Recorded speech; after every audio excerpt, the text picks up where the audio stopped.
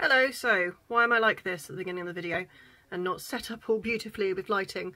Um, we're getting to that, but what happened, and if you've seen my TikTok or Instagram reels, you'll know, is that I filmed two parts of this video and the first part didn't actually record and I didn't realise this until I got home and it just seemed a bit strange to film the first part like properly somewhere again so I thought do you know what I'll just do a little intro to it so um in the video what basically what I was saying in the video um filming at my mum and dad's house I'm not I'm at my own house at the moment but I was filming at my mum and dad's house all good in front of their lovely Christmas tree so that was the start of the video but um the actual video this week oh and welcome to Dreamers Setters and Go-Getters um by the way um this week's video is why are so many of us overwhelmed at the thought of change? That's the point of this week. So, without further ado, we will go in to the first point. Oh, when you film a video and just the, the camera just switches off in the middle of doing it, it's like, excuse me, excuse me, I'm trying to film a video here, do you mind? Anyway, number one, we're afraid of the unknown. Of course we're afraid of the unknown. We don't know what it is. But the idea, I think, with fear of the unknown is to actually not see it as a bad thing, but potentially a really good thing. The thing with the unknown is things can always get better, but for some reason we focus on the negative and the fact that going into the unknown feels that the unknown is going to be worse. Why do we do that? Well, many reasons.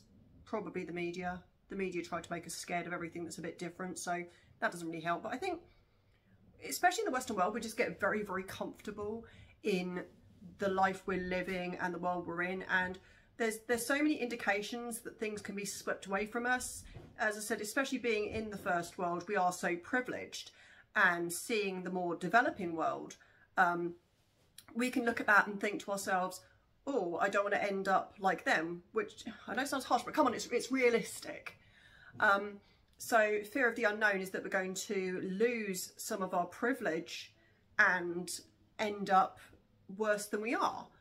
But most of the time, if you go and do something different, it will probably be better because worst case scenario, you do something different, you just, and it doesn't work out, you just go back to where you are now. So yeah, one of the biggest things is fear of the unknown. Number two, we don't want to make a mistake. Now I addressed this in my last video, our fear of making mistakes, uh, making us very stunted from ever moving forward in things. But in order to achieve anything in our life, as I said in the last video, is that we need to risk making mistakes. And mistakes aren't always necessarily a bad thing. Mistakes will teach us things. Another thing about mistakes is that sometimes you can make a mistake and find that it's actually, the outcome was better than what you wanted to do in the first case. So one of the, it's quite obvious to see why we fear making mistakes because I think from a young age, like when we're in school and things like that, if you make a mistake, you may have gone to a school where you got particularly told off if you made a mistake, or you may have had parents that gave you a big telling off if you made a mistake. But as adults, I think we need to learn that making mistakes is actually all part of growing or part of succeeding at something, and that we should actually embrace our mistakes when we make them. So yeah, number two is fear of making a mistake. Number three, we're worried about what other people may think. Now, this is like quite a crippling thing to a lot of people.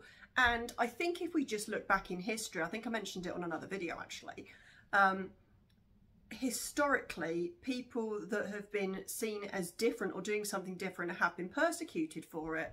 Um, I think I mentioned before, you know, the witch trials, if you were different, you got burned at the stake for being a witch. So and I think that witch wound, as it's known, runs really deep. It's particularly in women, and we don't realise it is quite ingrained in our DNA.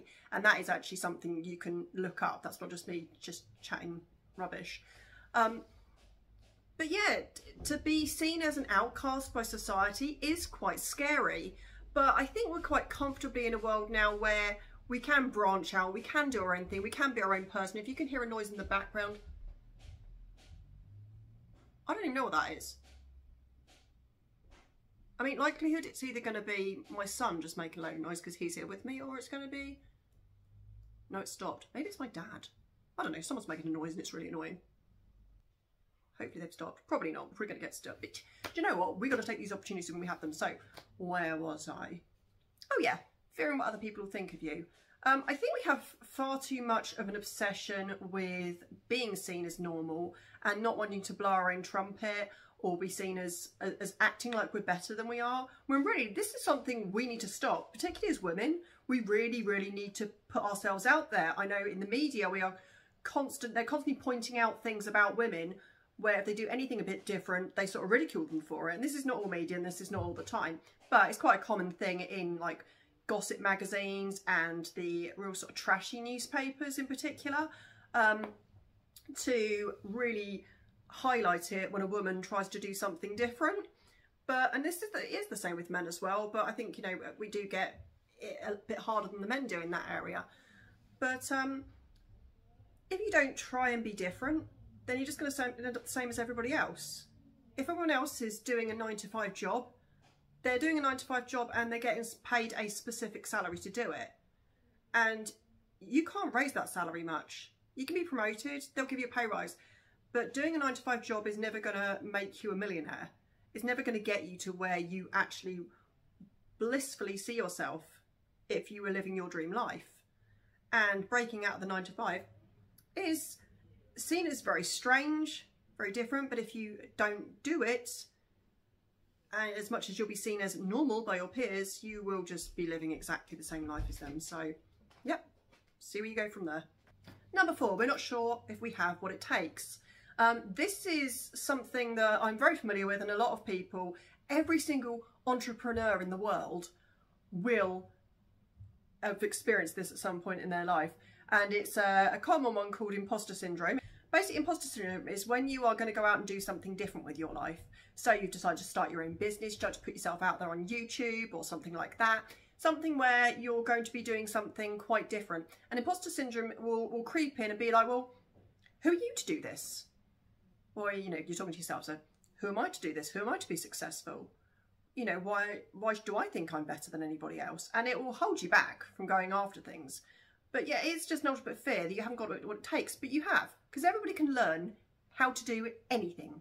If you want to do something, 99% of the time, you'll be able to learn how to do that. So the fear that you cannot do what it is you want to do, the fear of not being able to achieve what you want to achieve, and therefore causes you overwhelm, it's perfectly normal and you will get through it. So you just need to keep on at what you're doing and you'll get there. And finally, number five, change is hard. It is, change is hard. We get very complacent, we get very comfortable, we get, um, you know, living our little lives and then all of a sudden something changes and it throws us, you know, completely out of whack. And it's understandable that people fear change because it's hard. Um, because we do generally in in the Western world have quite easy lives. I know people are going to watch this going, I don't have an easy life. No, compare yourself to some places in the world. Compare yourself to kids living on the streets in India. Compare yourself to a family living in poverty-stricken parts of Africa where they're struggling to find food and things like that. You know, our lives are quite easy. We have other issues we have to deal with that people in harder situations probably don't. But overall, we are meeting everything on the uh, basic um, hierarchy of needs, which I mentioned in a previous video. It's uh, Maslow's hierarchy of needs. So yeah, change is hard. Anything you is worth doing is worth working hard for. So push through it, come out the other side, all good. So that's it. This is quite a, a short video this week, but I just kind of wanted to get it out there quickly and just um, make sure I had some content for you before we get into the Christmas uh, weekend. This should be going out, in fact this will be going out on Wednesday the 21st of December, winter solstice.